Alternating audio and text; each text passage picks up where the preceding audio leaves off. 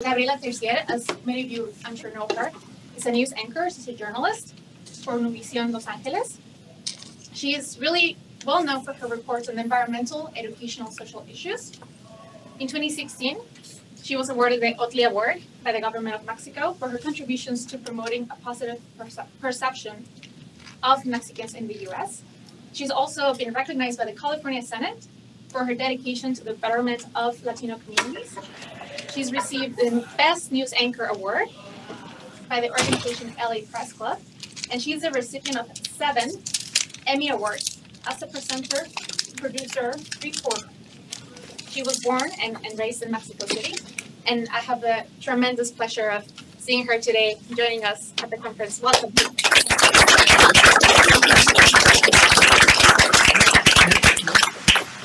Thank you, everyone. Buenas tardes. ¿Cómo están todos? Okay, llegamos al final stretch. I prepared a little presentation for you guys because there is a very good reason why you and your business have to have Latinos in mind all the time. There is a clear reason, and that is money, that is revenue, that is impact. And you guys have to know that we're bicultural, bilingual, multicultural, and we're here to stay. So that is the premise. Let's start from there.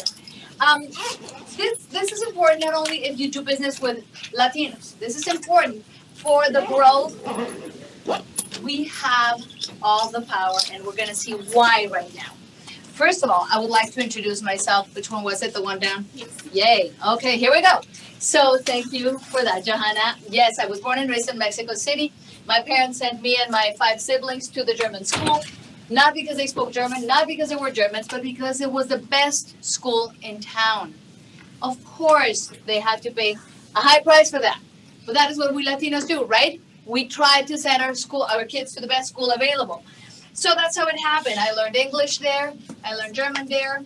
Neither do I speak any of none of those languages. I forgot everything. But so then I went to uh, the university in Mexico City, and as I was graduating, I landed an opportunity to come to the United States and work for one of the two most important Spanish language TV networks in this country. And I was pondering about it. My dad was a very well known journalist in Mexico, and I said, Why do I leave my beautiful country? He said, This is your ticket out. I am not going to go deep into that because most of us know what happened and why we're here. So I took that ticket, I took the job, I came out here, and I just found a community that I had no idea what it looked like, what they spoke, what they were about. So these Mexicans out in the United States, what who are they? My uh, my my recollection of Latinos in the United States, Mexicans in the United States at that point had to do a lot with how I spent my summers in the northern part of Mexico, Chihuahua, Coahuila, Reynosa, and so and Texas, of course, and that was all blurred. We used to go and buy ice cream in El Eagle Pass and then come back to Piedras Negras, and then it was like there was not a big deal. People would pull in their cars to El Rio Grande, wash them there, and then cross the border and buy more soap and continue doing the same drill. There was not such a big deal about it, right? It quickly changed. So um, my migrant story was absolutely nothing like everybody else's. I did not see those lines. I don't. I didn't see how hard it was to get here, and I flew straight from Benito Juarez Airport to LAX. Big deal. My migrant story is not fascinating. Neither is it worth talking about it. But when I found these people here that had gone through great lengths to be here, I was like, wait, wait, who are these people? Why don't they tell me about you guys when I'm in Mexico? Right? I had no idea why nobody told us about this diaspora of Mexicans in the United States. So here we are in Mexico. And the next thing I know is braceros. I remember braceros. That's not the bracero. Where did she go? Here. Braceros. Braceros program, right? Do you guys know what a bracero is? Does everybody know what a bracero is? So, for those of you who don't remember, these people came to the United States. Um, the last program of this kind had two six months period. These men used to come to the United States, work as laborers, and they were supposed to go back to Mexico and live their lives. Well, that did not happen. The old adage is there's nothing more permanent than a temporary worker. And so it was. Hundreds of tens of thousands of them were here. They stayed. And then in 19, from 1950 to 1960, during those 10 years, a lot of them stayed here. They had children here, they started families here. And next thing you know is 51% increment in Latino last names. So Hernandez, Gonzalez, Martinez, and the Garcias, they were all here. They were here to stay. They had incorporated, they were part of the whole community. And more importantly, they wanted to blend in. These families not necessarily taught Spanish to their families, to their kids. They they had this fear of racism that was very real. Mm-hmm. They feared really, really abuses, and they did not want their kids to do this. So they didn't teach them Spanish. Also, they thought, well, maybe I don't teach them Spanish because I want them to be proficient in English so they do great in school, right? That those were all thoughts, very real thoughts that lingered with them. And next thing you know, we're in Mexico. We don't know about these families. We come here, and guess what? Big surprise. Martinez Hernandez and all these people that I come to meet here, they don't speak Spanish.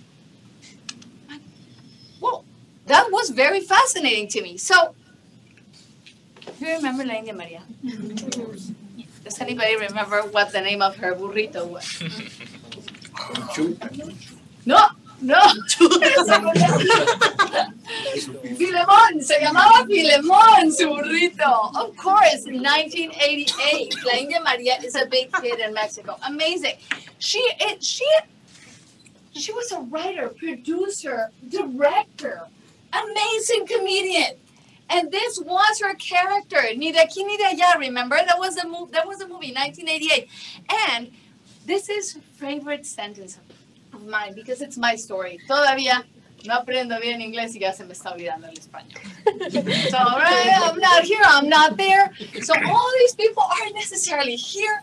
They don't know. They speak a little bit of Spanish, a little bit of English. They love our culture, yet it had a little twist to it. So I get here, land, fast forward. This is 1988. Fast forward. I flew in 2020 and up to, to year 2000. And I find that the most important celebration of Mexicans in the United States is Cinco de Mayo. I'm like, really? Cinco de Mayo? You guys are kidding me. That, we don't even, it's hardly even thought of in Mexico. Yeah, of course, it had all the celebration, the color, the mariachi, the piñata, the you name it. It was a very interesting combination between September, 16 de Septiembre, claro, our Independence Day, and a very bad cliche of Mexico, right? I, how many of you wear these seats like that? we don't, right? We don't put that huge, heavy make, uh, makeup on. Of course, it's for theatrical things, but that is not necessarily us. Thank God for David Hayes Bautista.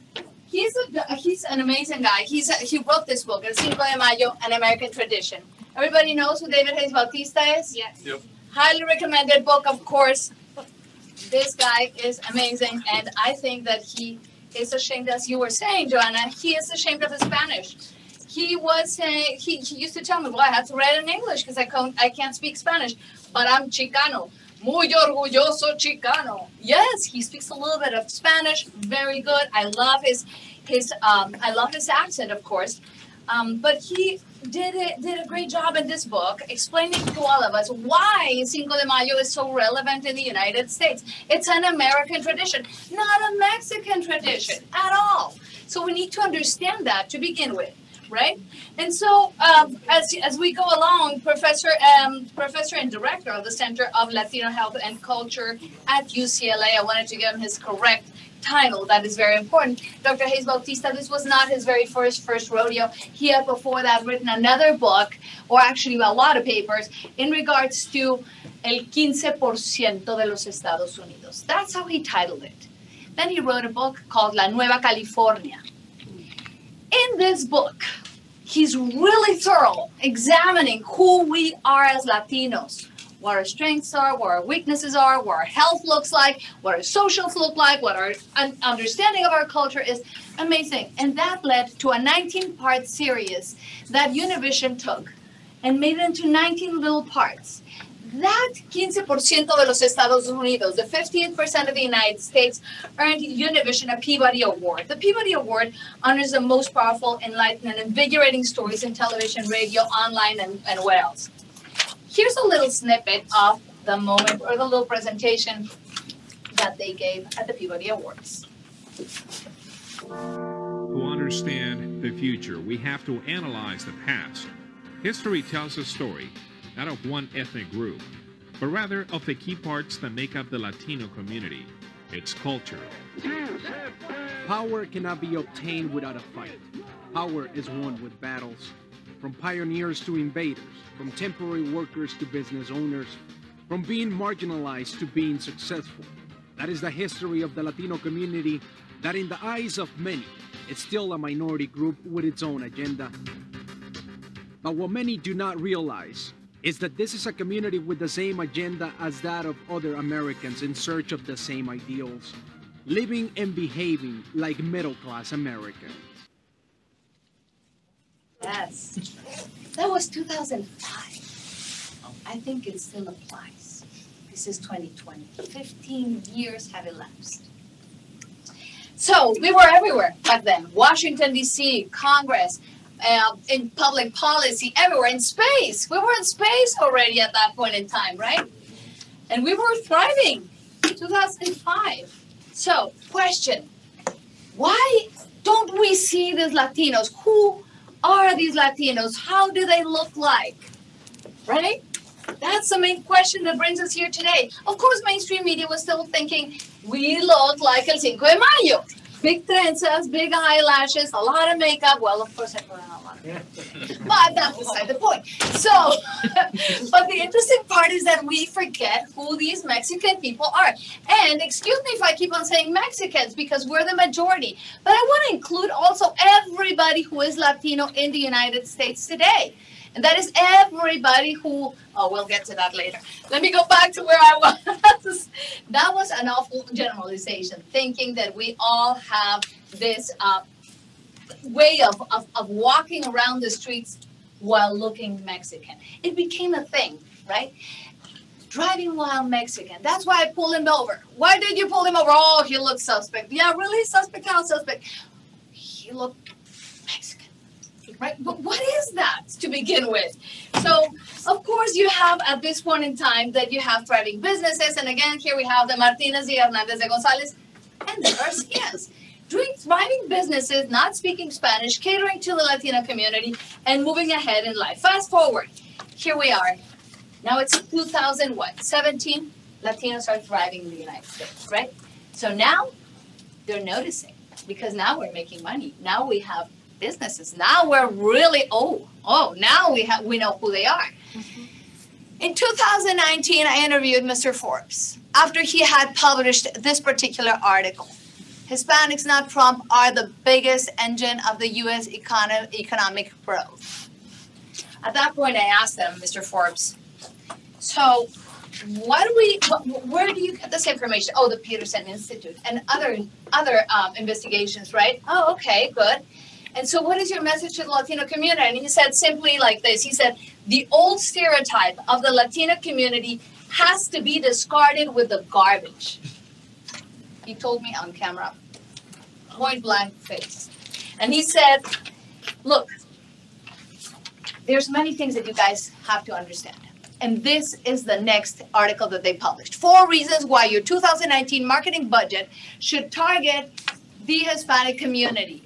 Latinos engage actively with brands online. What does that mean? Well, that means that 80% of adults in the United States of America use their cell phone to buy and to sell. 80%. And they said that they have been using hashtags and discussions about branding online versus 17% of people that were non Hispanics. That's important topic. Number two, they are early adopters of technology. Who's familiar with the law of diffusion of innovation? So what it really reads is that you need to reach 15 to 18% of early adopters to have good penetration and eventually reach, uh, market success, right? So in order to do that, you need the early adopters. And the, uh, the early adopters of technology are these people who will buy a technological pro- technology product from you right away. And that would be 80% Latinos. That's why you need them. Now, they're community focused. We, of course, will like a product and we'll buy it for our tia, la prima, la amiga. We'll, we'll do more of that. We'll be your best representative, right? And then they have buying in their numbers, buying power in their numbers. But what numbers are those? So let me go to this. According to the Pew Research Center, the question of who is Latino, who is Hispanic, and who is not has a lot to do with three little things changing labels, shifting categories, and questioning question wording. So here's what we have anyone who says he or she is Hispanic is Hispanic. And he or she who says they're not, they're not. Period. That's what the Census 2020 said. Isn't that fascinating? It goes something like this. Am I Hispanic? I migrated from to Phoenix from Mexico. Am I Hispanic? Yes, if you say so. Next question. My parents moved to New York from Puerto Rico. Am I Hispanic? Yes, if you say so. My parents went, oh, whoa, oh, whoop, what did I do? I skipped everything, but I'm going to continue with my sentences. Here we go. My grandparents were born in Spain, but I grew up in California. Am I Hispanic? Yes, if you say you are. And what about I was born in Maryland and married an immigrant from El Salvador? Am I Hispanic? Yes, if you say you are. Last but not least, one of my great grandparents came to the US from Argentina and settled in Texas. That's where I grew up. But I don't consider myself Hispanic. Does the Census Bureau count me as Hispanic? No, if you say you aren't. But yes, if you say you are. Okay. God, isn't that fascinating? So, after counting all these people who self-claim being Hispanic, 62.1 million self-identified Hispanics in the United States. That makes us 19% of the population. We were 15% in 2005. Power in the numbers, right? That's where we go. So, not only that, then um, I'm going to show you this this uh, interesting thing from the Stanford Latino Entrepreneurship Initiative 2017. Hispanics in the U.S. 27% are first generation. Who's first generation? All right, here we go. So now who's 26% and who is second generation? So parents were not born, were born, uh, no, no. And who is third or more? So see, so every time we're younger, first generation, it's just it's shifting. We are evolving. That is very fascinating to me. So we go to 2020. The Latino Donor Collaborative has been working really hard in putting all these numbers and studies together for us to be able to share. And we are 68.2% of, we represent 68.2% of growth in the United States in the labor force participation. Those are numbers from 2017, pre-pandemic, of course. That's amazing. Um, and also, uh, whoop, whoop, whoop, and also, we have a buying power of two point seven trillion dollars. That's our GDP today. That's an awful big amount of money. Who wants a share of that? Hopefully everyone. So next question is, how do I reach that group? How do I reach that Latino? We still have not uncovered how to get to them, right? We kind of know who they are, but we still don't know how to get to them. That's an avatar. They can explore Pandora and relate immediately to Navis, right? Their greeting was this one I see you. Not hola, ¿qué tal? Not hello, how are you? Nothing. Not guten Morgen, wie heißt du? I see you. Why is this important to me? And I think it should be important to you. Because we still don't know how Latinos in the United States look. Do you see the screen? Who here is Latino and who isn't? Do you spot the Latinos here? all of them. All of them. All of them are Mexican. All of them are Mexican. Yes. We don't eat huevos rancheros every day for breakfast. Never a mariachi played at my birthday parties. right? So here's a concept. We Latinos, Hispanics, we come from different countries. We speak different kinds of Spanish or types of Spanish. Our cultures are very different. I think we meet here. We meet in this area, in this third space with other cultures. I see you. I respect you. I want to meet you. I want to do business with you. I see you. Right? So um, that's called an intercultural space. It's a theory of the third space. Not mine, not yours, but we both have to belong in that space. We both have to feel part of that space. At this point in 2020, every culture is multicultural. We need to understand this. And the contact between two cultures is what makes each culture evolve. There are no better cultures, there are no worse cultures. We are Hispanics in the United States and we are Americans, American mainstream today in the United States. And this is exactly how we look. This is how we look.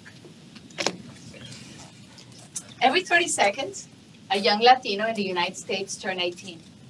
Turns 18, right? What does that mean? It doesn't matter if it's a political candidacy or if it's a car that you're selling, we need to buy into it. We need to understand that that is part of our brand as well. We are a brand. The goal is to connect with every self-proclaimed Hispanic in the United States, right? So if you're a corporation and you need growth, you need to make us buy into your ideal, into your concept, into your belief. And uh, we need to connect with people that believe in what we believe. So how do you reach us? Turn around. Here we are. See us, respect us, hire us. That's a very important thing. Where do you find us? On social media. You find us on TV. You find us on podcasts, on radio, everywhere. In Spanish? Not necessarily. Not all of us speak Spanish. Of course. So we're bilingual, we're trilingual. How do you make sure that you're reaching us? Stop the stereotypes. See us and hear us. Because by hiring us and training us and making us feel loved, we belong, we buy into your brand, we'll sell your brand, we'll be your spokesperson. We will love it. If you train us, you will let us be, we will speak up, hear us, understand us. You cannot take us for granted. Even if you're Hispanic, I'm not voting for you. If my beliefs are not represented in your candidacy, I don't care if your last name is Martinez or Rodriguez or Garcia. So, I would like to share with you a brief video of a new show that I just found to be my favorite. I don't want to move too fast in this one. I, I think I messed up the battery. There you go. Wow, stop. Don't play it. But the Garcias, you know why the Garcias? Mm-hmm. Well, because Gonzalez, Lopez, Martinez, Hernandez, Rodriguez are among the 13 most popular last names in the United States. But Garcias is number sixth. The sixth most popular last name in the United States is Garcia. Oh my Here you are. In life, we meet lots of really different characters. None more unique and interesting than the characters that make up what we call our family. Really feeling the feels of mi gente, the people of Mexico. George, you know you're half Puerto Rican. Yeah. While no one is ever quite certain where the path they're on will lead, with the support and love of those around you, it's always more about the journey. Oh, chapulines. The Mexican popcorn, and they're extra spicy. But you know, it doesn't have much. Oh, okay, That's, yo, that's got a kick. I'm just trying to save the world that your generation has been so good at destroying. Are you in or out? Oh, that smell of peroxide. It's like I'm back in the game.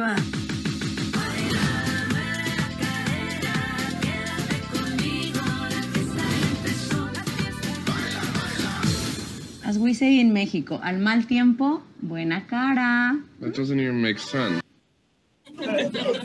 Doesn't even make sense, but this is who we are. So I love that because it's a brand new show and I think it portrays exactly who we are. So going back to La India Maria, super talented woman, amazing writer, producer, director, visionary, still valid today. And this is me, and I thank you for seeing me.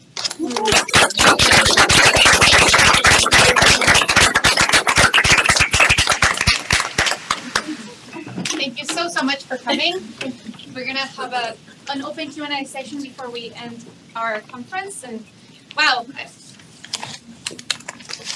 It always amazes me when we hear all these and see all these numbers, how present we are and how little we know about ourselves. And you know, our mission is to change the narrative, but how, how we do that if we don't even know about ourselves? So I, I have some questions and then everyone else can uh, jump in as well. Um, first, I'd like to know, as someone who works in the mass media, um, when there's an English commercial, you know, there's big brands out there, and now they're targeting Latinos more than ever.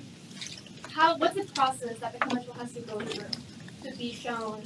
Does it get translated? Does it have to be modified in some ways? How does it work?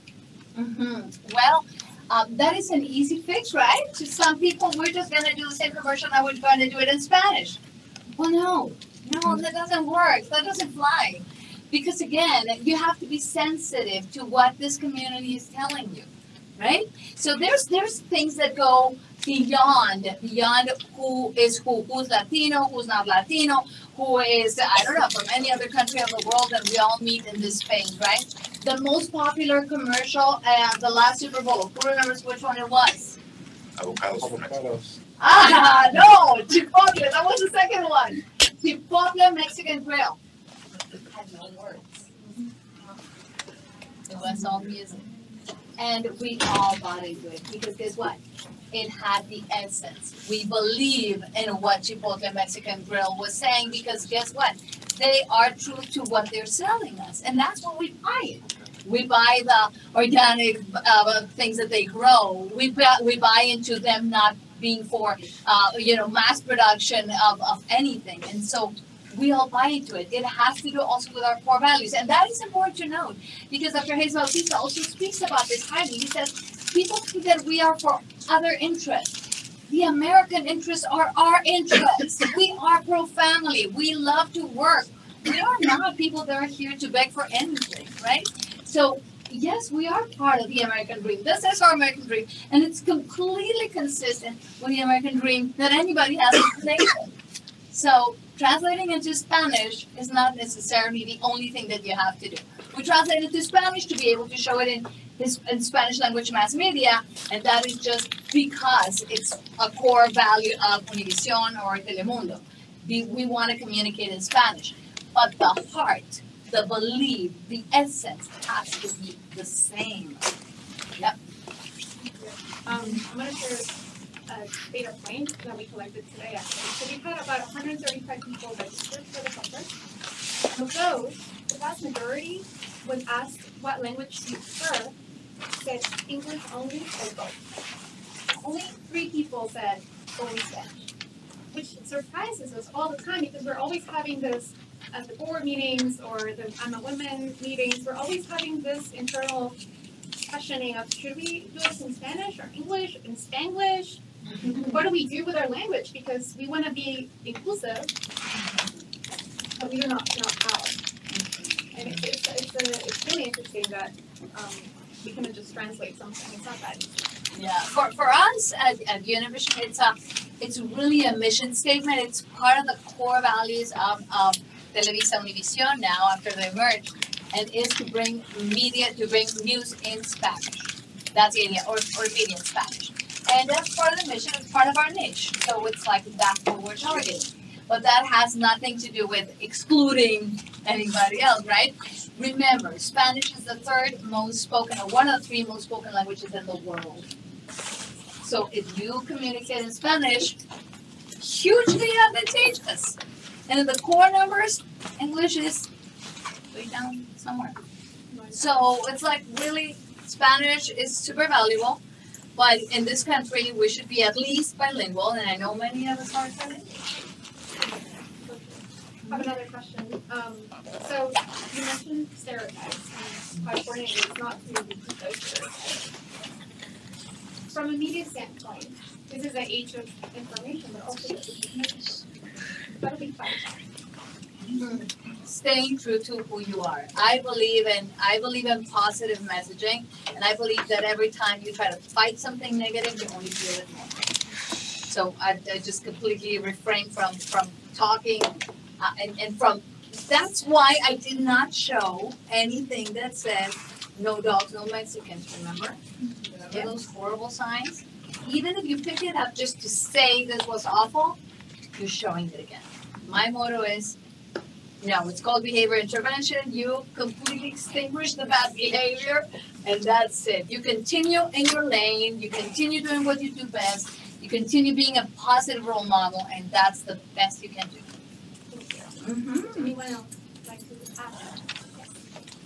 Um, there's a question in what I'm gonna say, so I'm gonna try to get to it fast. But I think, uh, um, how critical from your experience on being on media, when sometimes you have one shot, right, and you have to get it right. Um, I tend to be very flexible with nomenclature, right? But I know it's very convenient. I use it, you know, when, when it fits. Like in, in my job as a promotor de salud, I kind of train people for what it means. But we also said in the community, people don't care about your job title, it's about your job description, right? So I'm giving myself a given. My daughters, I have four daughters on between 11 and 21, and now them and these pronouns, and I'm like, what the heck is going on, right? Like, which one is it?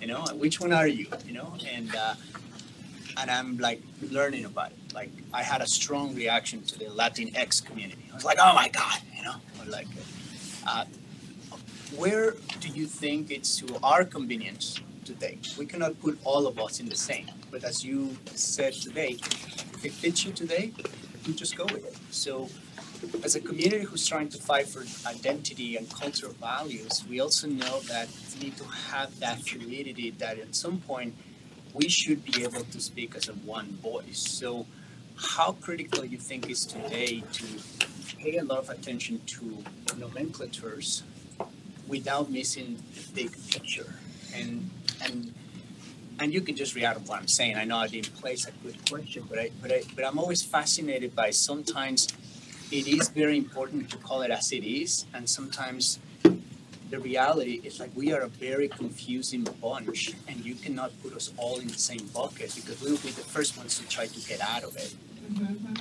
How do we go about marketing even ourselves to the whole world? Hispanic and Latin is is absolutely Hispanics, Latinos, it's absolutely interchangeable. According to the Pew Research Center, according to the census, and according to just survey done by Univision, far out and large. Would you rather be called Latino? Would you rather be called Hispanic? They're super interchangeable. Latinx has not been recognized by most. So I would stick to either Hispanic or Latino and use it interchangeably. Um, I tell you, it's like, yeah, I, I actually was, was questioning myself about that as I was writing this.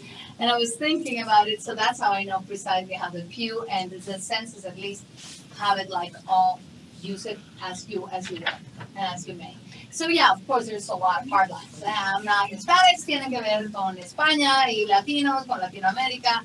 But yeah, we can be uh, as puristas como queramos. Ah, no.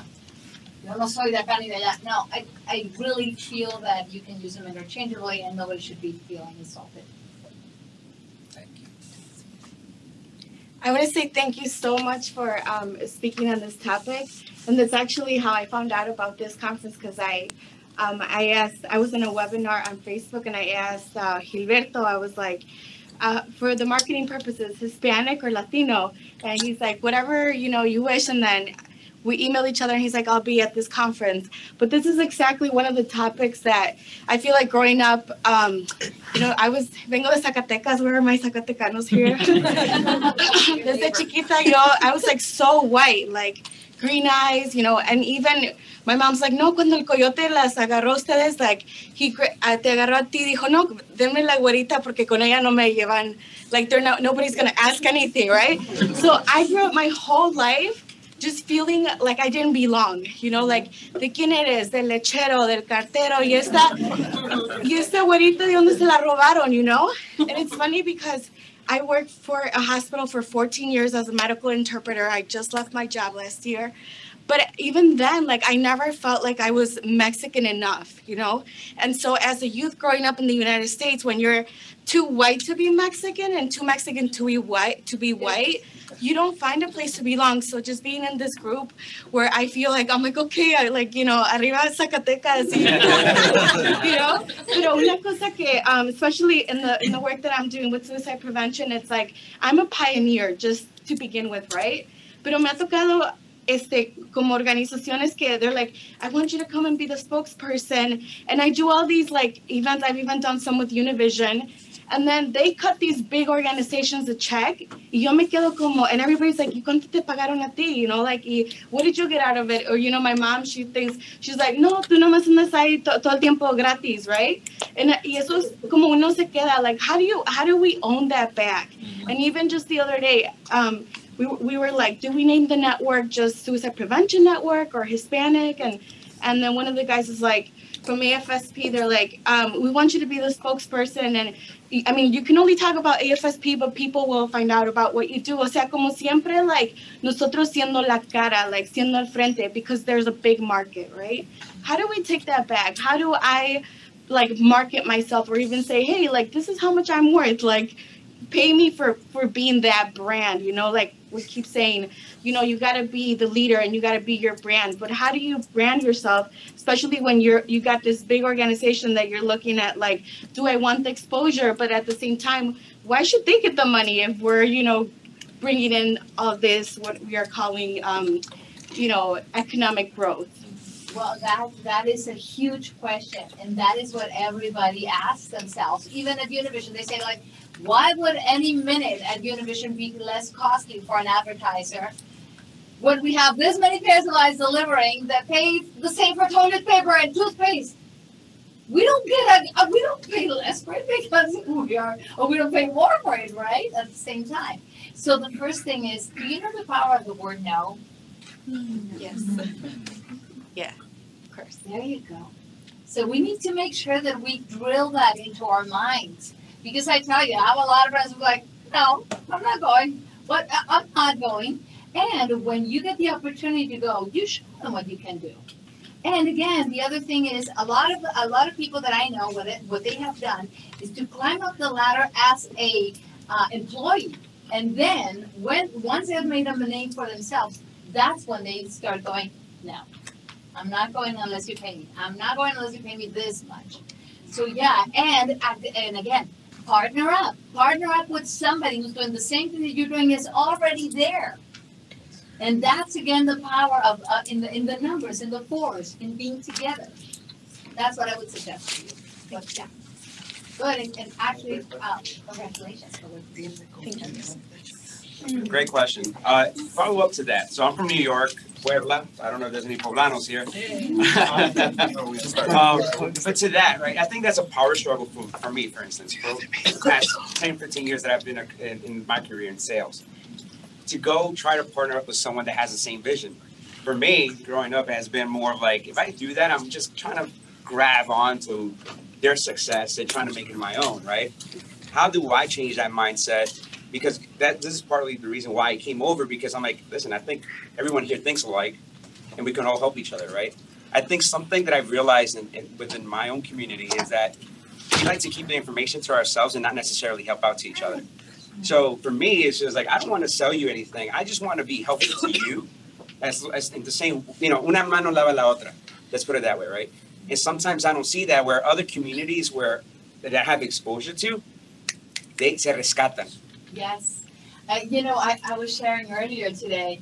Um, I was at a conference one day. No, it wasn't at a conference. They were opening up a branch, a bank branch, and there was Henry Cisneros was there. I mean, a lot of very important people were there. And one said, "This is crazy. Everybody, listen to this because I don't really heard it before. I don't think they have. When a dollar lands in the hand of a person in the Jewish community, that dollar changes from Jewish hand to Jewish hand to Jewish hand. Yes. Mm. Six And, and thank you for saying that because. for because Latinos. What? Mm-hmm. Yep. Mm. There's a book about it. So please, I mean, come on. We have to hire each other. And again, and it's not only us. We are not selling only to Latinos, are we? No, we want the world to know about what we're doing. But again, if we don't try to support each other as much as we can, they were earlier talking about the chambers. It's so important to belong in a group that is going to make you stronger. And that's why I'm here today. That's why I flew from the other coast too. Because I really think that we need to make sure that we support each other. We need to do it because it's crazy. I mean, look at the African Americans. It doesn't matter if this is crazy. You're in a boardroom. And I'm sure I'm speaking to the choir because you guys have been in boardrooms. And you're sitting there and there's all white people and brown people and purple and black and blue. And then all of a sudden that African American says something outrageous and everybody goes, whoa. Well, the African American over here, no matter what, is going to support him. Mm-hmm. No matter what. Was not even in the room? Oh, whatever he said goes. Oh, whoa, whoa, what happened? so where is that support from each other? Para nosotros. It's insane. We need to do it. We have to. Can I just add a brief comment to that? I was talking to some of the board members about my uh, a special predilection to the Jewish culture precisely because of what you said. It's been proven. I mean, they are always helping each other out. I just got hired by a Jewish uh, partner at a, a law firm, and I said yes. Why? Because he's not only because he's Jewish, but because I know that the solidarity that he shows to his people speaks volumes to me. And so, what I've sought to do to replicate that, not just admire it in him, because we need to act upon it, is every time I go to a Mexican restaurant in New Orleans or anywhere, I make sure that the owner is Mexican or at least minimum Hispanic. If not, I'm not dining there. I'm not having lunch there. Why? Because it's my self-imposed uh, teaching myself to help Mexican people grow their businesses. To me personally, while I very, uh, my family is very multicultural. We have Muslims in our family, Colombians, Spaniards, Argentinians, Mexicans. Obviously, we're the base. I call it the base color. Uh, and uh, but but I'm not hating on other cultures. But what I'm trying to tell you is, uh, what I'm trying to tell you is like I always watch out for it. Now I always watch out for who are my Mexicans because when I go to some supermarkets, they're being owned by people out there in Europe or Middle East. I'm like, are you kidding me? Why? Why? And the people that are taking the cash, the cashiers, the, the at the places, they're Hispanics. Yes, cheap labor. But why why do we do that to ourselves? We're just self-inflicting ourselves wounds. Yeah, and, and you know, it's interesting. I went, uh, we went last night to a restaurant and it's a Mexican restaurant. My first question wasn't how many Latinos are working here. I want to know the entire composition of the place. Not only the owner and not only the people in the kitchen. I want to know everybody, right? And yeah, ninety percent of the people are Hispanics or Mexicans. So I think that's very valuable. Um, I have a quick question. I think something that I come across in my own family is that, especially with my parents or grandparents, is that there's some reluctancy to change. Like similar to this story about pronouns.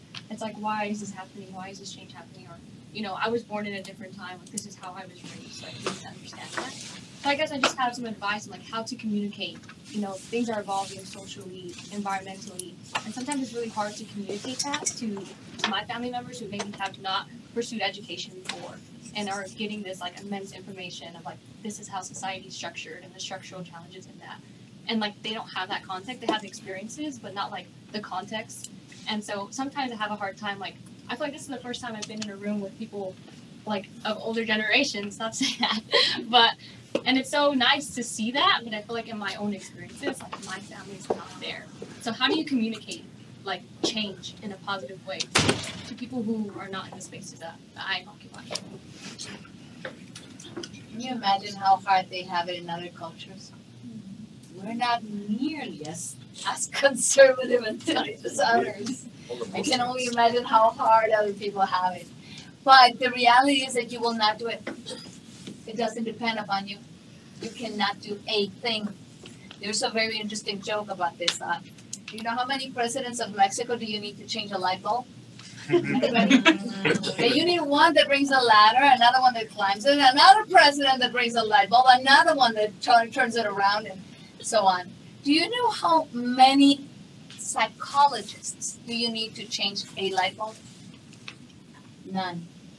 It only takes the light bulb to want to change.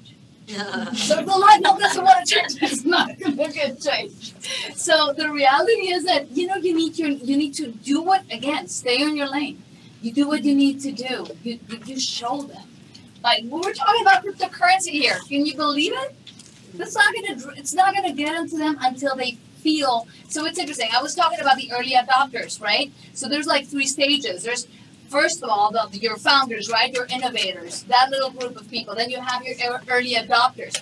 Then you have another group of people who are your mainstream, and then you have the slaggers. The last one group only buys cell phones because rotary phones are not available anymore. They're not going to do it. So don't waste your time. You stay in your lane, you get your things done, and once they see you thriving, they're like, well, what did she do? Oh, let me join her on this. That's my recommendation.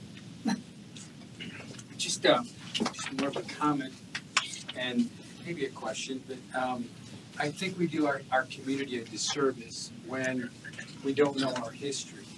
And, you know, when I was, when I was listening to the presentation, it was a wonderful presentation, and thank you, and Univision is a, Univision is the president here in Univision is on my board of directors of an organization that I have. So I'm very, um, you know, very proud of Univision, and what they do here in Chicago.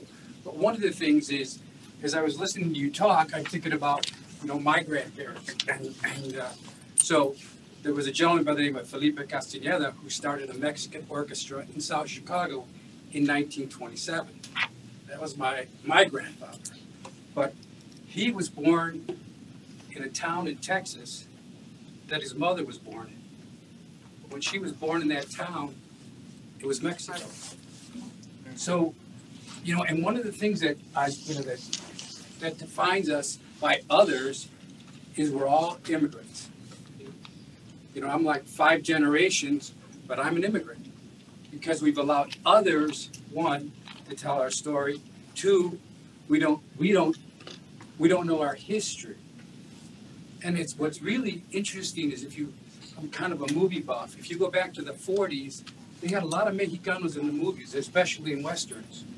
And then if you think of the 50s, you had things like Cisco Kid and Zorro. Our young people had heroes, right? And I shared this story with you because the, I worked for McDonald's Corporation. I was vice president of diversity. And we, I was just sharing with Cindy that we bought Chipotle when I was there. And he, we did some story and was a thing about Hispanic heroes. And he said, Ray, he said, you know, it must be nice for you that there's Latino heroes now. I go, what do you mean? He says, well, there were no Hispanic heroes when you were growing up. And I said, well, first my parents and then my grandparents. Mm-hmm. But I said, you know, we had the Cisco Kid, Zorro, and we had people like Roberto Clemente, and Al Lopez, which none of you would know who he is, but he was a, he was a manager for the Chicago White Sox in the 1950s. But we don't know our history. And we're doing ourselves, our young people, a disservice. You go into the schools and the kids hang their heads because they don't know the contributions that we made. We built the stockyard, we built the railroad. We did so many phenomenal things, just like the Chinese and just like all the other groups. But guess what? The other groups all tell their stories in the movies, right? The Jews, the Jewish people tell their stories. Black people are now starting to tell their stories. Where's our stories? Where's our histories? You know, and if, if anything, I, any message to the media or people who who are, are talented and writers, start talking to your parents and your grandparents and get our stories. starting to write those books. It's, you know, really, we can go all the way back to Christopher Columbus. He was stolen by the Italians. His name is Cristobal, you know, Cristobal Colon. His name's not Christopher Columbus. There was no Christopher Columbus in 1492, was there? Where did that name come from? Who created that name? And then, and then the whole Latino piece was just left out of it, right? I was just sharing, you know, when you, when, when the white, just ask yourself this, but here's my question. When the white settlers crossed the Mississippi, when they were gonna settle the West, who do, you know, who did they re, who did they see when they got to the West? What group did they see? The Indians, right? Who else? Los mexicanos. The Mexicanos, but what were they? What were they called? The- Oh, what were they? They were Indios. cowboys, right? Caballeros, right? The, the cowboys, right? They had the rodeos. Rodeo's not American. It was Mexican, right? What happened to us? You know, I, a friend of mine did a book on that, and almost everything on the horse and the cowboy is all Spanish. But they, you know, and it's the American cowboys are the American icon throughout the world, and they were Mexicans, right? So I recommend that you read uh, La Nueva California. You won't believe it. The, the research that Dr. Hayes Bautista does is unbelievable. Yeah. And I have a better one for you that you have to use. The deeper your roots, the higher your branches will always break. So you have to get your roots down, like the trees. That's important. Very, very, very important. Thank you. Yeah, but again, we have to tell us positive stories Yeah. to know our history. And it starts with your parents and your grandparents, and you will find some phenomenal stories and when they came and how they got here and what they went through and the difficult times I, I did I did a story a long time ago for um, for Univision called um, Las eh, Audaces Mujeres del Oeste because they were not in the books. If you look at the books, the training posts and everything, it reads 250 soldiers and two women. Yeah, no. right? And three kids. The reality was that they never counted the women because they were Tongva, there were Chumash, there were all the all the different uh, people in the in the in the communities there at that point. Y había muchísimas mujeres. Solo una, only one of them appears uh, later on in the books. Her name is Toypurina. It was the only women woman of of, of indigenous um, history who actually faced off with the soldiers there at some point in time, and then she was killed. But she was the only one who really put a rebel group against the, the, the people there, uh, against the Spaniards. That was the only reason why she made it through. So I'll give you a better one. All, all the women.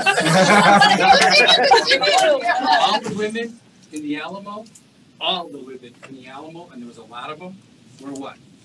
Mexicanas. Mexicanas, claro. Mexicanas. Claro. You never hear about that. In Zacatecas.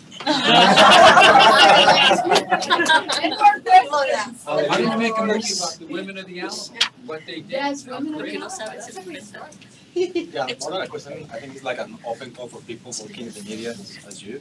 I think uh, one of the challenges for the community uh, is that we are still underrepresented in some professional activities. Like in my case, I work in science and technology. There are people working there, but we don't see them too much. It's very difficult to do like a networking because there is no visibility on the things in which we work. So it's, it's really like a you know a call for, for you guys to help us to you know to promote not only on science and technology but in general. I'm sure there are uh, as I say uh, activities where we are still underrepresented. So if anything we can get from media more attention, more promotion of things that are done for people in all the countries, from Mexicans, Filipinos, I think that's super important. And so, so this is my question to you because this we go back to the same thing. How do you identify a Latino? If I see you, and I see you in a group of, uh, let's say over there in this other area of the same place, right? In uh, one of these, uh, uh, I don't know, these places, right? And I see you there. How do I know you're Latino? Unless you let me know you're Latino. Unless you say hola. Unless you say, I don't know, you know what? Let's go to this Mexican restaurant. Ah, porque aquí me gusta comer. I don't know. There's some clues that I need to get from you to know that you're Latino. So I can connect with you. For us in the media, sometimes it's really hard to identify who's Latino and who isn't. I did not know that Wade Crowfoot, the the um, uh, Natural Resources um, Secretary in California, speaks fluent Spanish. I had no idea. I interviewed him in English, and then he's like, ay, por si acaso habla español. I'm like, oh, okay, we gotta start over again, right? Things like that. You gotta let us know. You gotta make yourself No, visible. I'm, I'm sure that there are things like, for instance, the previous uh, uh, presenter about the podcast. That's a beautiful. I mean, that's a great idea. But also there is a part that you guys from the media, uh, you can also help us to, you know, to, to just to get more attention and more visibility. Absolutely, Because I think it's important also for the community to grow up in terms of yeah science no, and technology. Like more we promote, more people, more kids will okay. I, I want to do that, you know. So And then we need to help each other out in that sense because I tell you what, to us in the media, it's always very hard to find experts that speak Spanish. Híjole. but there I are there are many. Yes and no. Because, for example, I need to speak somebody in the Metropolitan Water District. This is the agency that manages the water of the Los Angeles, the city of Los Angeles, and then some. Can you believe that they couldn't get me one person that spoke Spanish? So they got me one, and I said, okay. El señor Cetina, fantástico. Luis Cetina, boom, boom, boom, boom, boom, done. Okay, so now I want to deal with this other topic. Oh, no, that's not Luis's topic. What do you mean? There's no, okay, then give me the expert in Spanish. No, we don't have anybody. I had to go back to one of the one of the five people that in the in that in that um in the Metropolitan Water District and tell them, for crying out loud, you guys need more than one person. You you manage all the energy and all the water in the Los Angeles County. Can't be right. So maybe we have the people out there, but they're not. It's all about access too, right? Maybe they don't have access to those particular places where they're going to be paid more, when they're going to have more representation, and they're going to actually do something about our community, right? So we need to push a little harder. We need to bring in the people that we know are in the same path, and we need to make each other stronger. By the way, me pasaron una cosa que están buscando a alguien que sea un spokesperson para ir a Washington DC. Se lo voy a pasar a alguien que quiera hacer, que quiera entrar a una campaña política de allá como spokesperson. We'll Porque find someone. for sure, porque they need somebody bilingual, and they, on the other hand, cannot find it. And, and I'll second that. Um, so, you know, most of you guys are, are from mostly central or west, west coast based. In New York City, for instance, right, where I come from, there's not, there's not many edu- Mexican educated, um, individuals, right? Low percentage in high school graduation rates and college time graduation rates. So when I meet, for instance, I'm the only Latino in sales, for instance, right now. The youngest too, by the way. My, the one that hired me, he's Caucasian, right? He's like, hey, I, I need someone here to speak Spanish as well, because obviously he's trying to meet, you know, HR compliance, right? But what I tend to do is just go to family members, go to schools, have engagements, and show them, hey, you could go into IT if you're interested. You're interested in making additional resources. This is another venue, right? But what I see sometimes is two things: family, because they don't know or they don't know how to access that. Second, the individual, they don't have representation. So one thing that I've always learned in my very short um, career, closed mouths don't get fed. In other words, if you don't ask, you, you won't get. Second thing, your network is your net worth. I'm learning that now. Before I was scared to do that, right? And that, to your point with the water administration, they need that, right? Now they can put initiatives to that. My company, for instance, I'm pushing for that. Like, we need to get more Latin speaking individuals here because if you if we're starting we're starting to get clients where they're asking, hey, how diverse is your workforce? Because now we have to push back against um, opportunities, right? In sales. So one thing I'm trying to do all the time, and this is the reason why I'm here as well, is network and connect the dots. Help the next round of, of, of individuals who have a passion in IT, in science, in technology, whatever it is. You can do it. You want to go into media? Guess what? We have individuals, we have programs for it. Because if you were to ask me, hey, Robert, why are you're at where you're at, it's not because of a Latino necessarily. It was because it was a, a, a white person um, program, and I took advantage of it. And that's something that I would like to have changed. So that that way we go out there and have positive reinforcement, have positive engagement, and that way we can be more in the in the fields that we need to be representing. Great. I agree, hundred percent. Yeah, we need to do it. Everybody, that's it. No, you finish. No, Sorry. you're on. No, yes, to, to your point, um, Robert, um, I think I shared with all of you in two thousand and twenty, I was honored to be um, listed on the one top hundred in finance, which granted is a uh, male-dominated industry. So from twenty uh, guys, there were only twenty-three women, and from those twenty-three women, um, one Latina, you're looking at her right now. So I was in shock, obviously, when I saw the magazine, but I, I took one step forward just talking to the magazine. They said, probably you think I'm the only one, but no. So we need to become our best. uh, I, I talk about the mentor, just like yourself, mentor, coach, and sponsor. I'm sponsoring another woman, so you know that we have more people that in, in IT, in finance, in any industry, I think we have that responsibility, moral responsibility to let them know that it's not only me. We have a bunch behind us or next to us and to help each other. At, at, at the end of the um, eh, day, it's that become the best promoter of the person next to you. Yeah, absolutely, absolutely. On that note, I'd like to ask one last question. Uh-huh. So based on the very diverse group that we have in front of us, all the faces that you showed us, what is a single word you think that unites Latinos? Warrior. I would say we're all guerreros. I think that everybody that is Latin in the United States is fighting, and we need to just unify our fight. That's what we need to do.